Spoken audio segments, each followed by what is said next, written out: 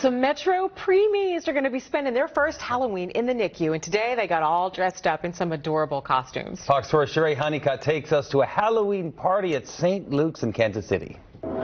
Halloween is the time when people go out of their way to get scared, but a tradition in the NICU at St. Luke's Hospital on the plaza actually helps make the terrifying time a little less spooky. It takes the edge off of all the scary things and just bring some light to a scary time.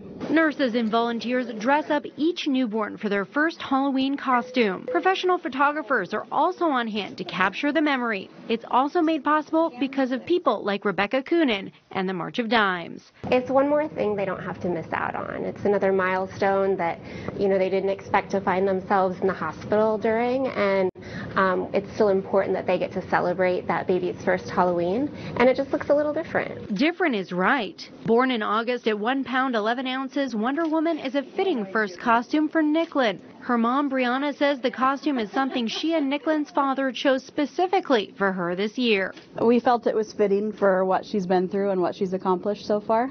And the little guy in the Chiefs outfit had his hands up like touchdown. Yeah, it was so cute. Megan Jasperson says she knows what each parent with a child in the NICU is going through. She delivered both of her children early and spent months with them in the NICU. Now Jasperson volunteers at events like this one to give parents hope that there is a future outside the hospital. Seeing the little babies dressed up is just gives us a sense of hope um, and gives those parents such a sense of hope because they hope next year at this time their baby's going to be going for the candy and running all over and enjoying Halloween. Just like Aubrey, who started life as a butterfly, is now a ladybug. And Crew, who celebrated his first Halloween as a Chiefs player and turned into a skeleton this year. Mila also battled through the NICU as Wonder Woman and chose her own costume this year. And Superman William, who plans to hit his neighborhood as a dinosaur. Sheree Honeycutt, Fox 4 News.